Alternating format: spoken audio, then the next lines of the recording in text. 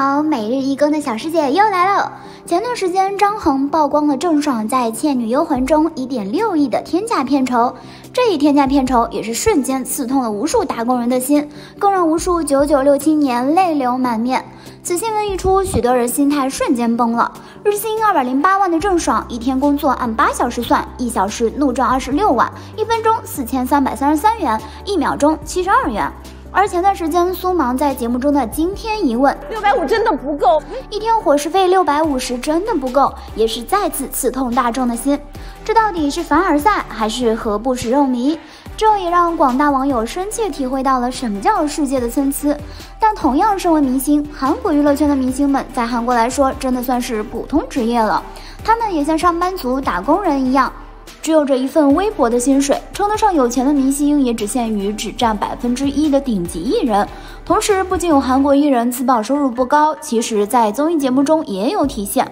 说到程勋，想必很多观众并不陌生。二零一八年，他也是登上韩国综艺节目《我独自生活》节目中，程勋意外爆出的演出收入，也是让人不禁感慨。可能在大家印象中，明星大部分都是日进斗金。毕竟当初内娱某十八线小新人的收入曝光后，也是令人啧舌。但也不是所有的明星们都有如此好的待遇。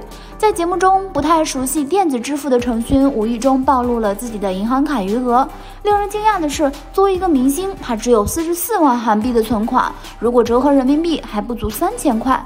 三十七岁的程勋已经出道九年，主演过《星际生传》《焦急的罗曼史》等很红的韩剧。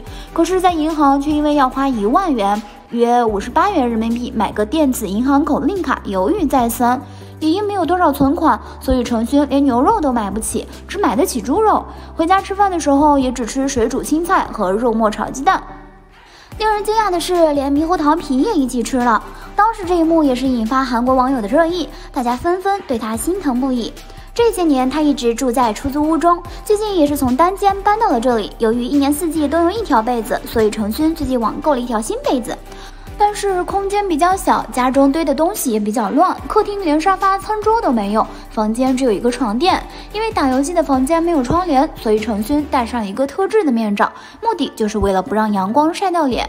因为当时他的脸刚刚点完痣，所以要保护好，不然会被公司骂。虽然住的地方有点简陋，但程勋也没有放弃，反而希望自己能更努力一些，再报一部电视剧。他的愿望是在首尔买房，拥有一个自己的家。众所周知，Super Junior 作为韩流鼻祖，至今他们出道已经有十六年，他们狠狠霸占了一代人的青春，可以说在当时，他们就是整个韩流的代表。而作为这样的超级天团，他们的收入可以说是普通人难以想象的。但即使作为韩国顶级男团 Super Junior 的成员，赫仔也是在出道七年后才买了房。이제저희집이라고할그런집은없었는데이번에처음으로 队长利特的手机是粉丝集资送的 iPhone。在某综艺节目中，利特不小心摔到了自己的手机，他也是立马捡起来，一脸心疼的说：“这可是很贵的东西。”当看到屏幕摔碎了，他也是心疼的快哭了。立旭安慰利特说：“给他买一个新的。”利特说：“太贵了。”问他有多贵？有一百万韩元吗？一百万韩元对他们来说已经是非常贵了。还有，当时韩庚已经回国发展了，他再回韩国时，在服装店碰到了大云。当时医生是因为收到了服装店的打折信息，想看看有什么折扣力度比较大的衣服，但是发现价格即使打过折也很贵，而韩庚则是连价格都不看，全拿最新的款直接打包付钱。医生也不好意思什么都不买直接走，只好默默拿了一件最新款付了钱。而同样的，作为一线演员的智孝被弟弟爆料上厕所会打开门看客厅的电视，由此可以想象他的家有多大。如今三十多岁的智孝还是一家四口一起住，而且住的不是高级公寓，大小也就跟中国常见的平民商品房差不多。说到这儿，再提一嘴，韩国跑男刘在石一集的价格差不多六万人民币。要知道，刘在石可是韩国最顶级的主持人，地位等同于国内的何炅。这么红的名嘴，录一集跑男的片酬才六万人民币，这收入真的，国内 N 线开外的主持人都比刘大神贵啊！也正因如此，有网友开玩笑称，刘在石跑一年的 Running Man 和邓超跑一期赚的差不多。同时，至今刘在石依旧是租房子住，由此也可以看出中韩明星收入差距真的很大。金宇彬也说过，自己刚做模特的时候，收入只有十万元。二零一三年红透中韩半边天的偶像男子团体组合横空出世了，他们就是 XO。在 XO Showtime 这档真人秀节目中，我们可以直观的了解到韩国明星的片酬。在同期节目中，成员吴世勋想要给自己的好朋友金钟仁买生日礼物，可是因为金钱上的压力，最后只用了人民币的六十块钱给金钟仁买了几件日常礼物。但要知道，这个时候的 XO 已经成了韩国的顶流，但是却支付不起一些日常的费用。当红明星收入都不算很高，很多不火的明星赚的也是更少。从去年开始，因为疫情的原因，日韩娱乐圈也进入停摆状态，不少演唱会取消，综艺录制延后，影视剧录制也按下了暂停键。韩团 Ten Top 成员在直播中表示，因为近期没有工作，所以一直宅在家中，但是每个月仅有七万韩元的收入。韩国物价之高，众所周知。二十多岁的大小伙子靠四百零三元人民币生活，想想都觉得有些天方夜谭。Ten Top 曾经确实是红过的，他们在二零一零年左右出道，曾经与郑容和所属的 CN Blue 等二代男团算同一时期。，Tintop 也有过大热歌曲，甚至夺得过金唱片奖等奖项。可随着新人的出现，加之公司后续资源后继乏力，Tintop 也就迎来了渐渐被粉丝遗忘的命运。韩国女子组合 Secret 出身小公司，所以条件更加恶劣。公司负担不起宿舍费用，四位女生不得不挤在一间半地下室里，还因此获得了“地下室偶像”的昵称。房间地方太小，摆不下床，大家就把垫子铺在地上睡觉。因为要节省钱，窗户没有窗帘，就简单的用锡纸糊住。Secret 的成员全孝盛自己爆料，出道工作四年才赚了三万人民币，这还是在他不断发行新歌和参加综艺节目的情况下。张娜拉因刁蛮公主被大家熟知但是因为参加节目的时候说了一句 因为这句话触碰了粉丝的底线于是惨遭封杀。不仅张娜拉在节目中说过在中国赚的钱多其实黄致列也曾经这样讲过。黄致列因我是歌手在中国红极一时自曝在中国的出场费是韩国的一百倍黄致列来国内活动后，收入就飙升到韩星前三，转头就在节目里口无遮拦。而女星郑丽媛凭借《我不是金三顺》被广大观众所熟知。她在搬家之前，她的家里陈设非常杂乱，窗户是用透明胶糊上的。网友对此也表示，简直就像医院的病房一样，没有生气。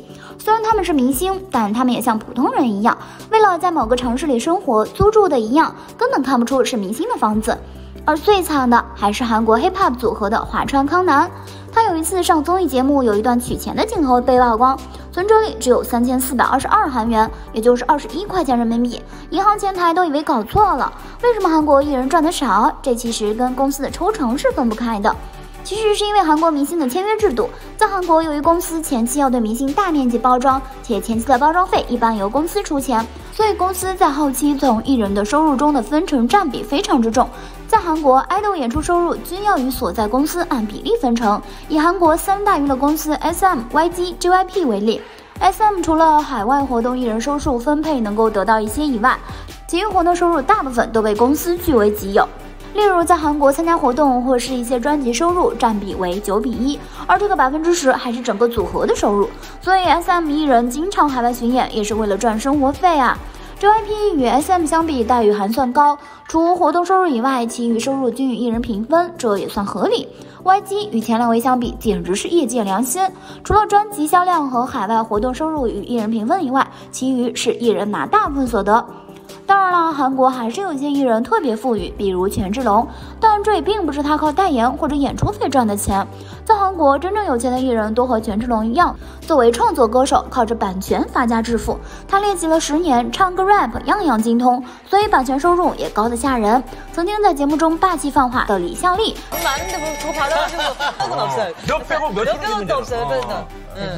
在韩国他是绝对的一线大咖。公认的 solo 女歌手鼻祖、性感女神，那么她到底有多有钱呢？身价一点七亿人民币，相当于郑爽近一部戏的片酬。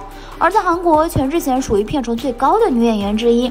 全女神当初在拍火爆亚洲的《来自星星的你》时，单集片酬为六十万人民币。《来自星星的你》一共二十一集，全部拍完，全女神的片酬也只是刚刚过千万。而这个片酬在韩国演员中已经属于顶级。在韩国，艺人只是一种职业。很多选择当艺人是真的出于喜欢和向往，毕竟韩国的白领每月工资基本都能达到一万元人民币，去当个艺人反而更穷，只有非常有才华的艺人才能熬出头，真正成为有钱人。对比国内的艺人，真的是很明显的反差。对于国内的某些当红小生，我只想说，只希望你的演技和努力能对得起你的片酬。好啦，今天的视频呢就分享到这里啦。如果喜欢小师姐的视频，可以点击订阅关注。喜欢谁就告诉小师姐哦，小师姐会每天给大家更新最新资讯。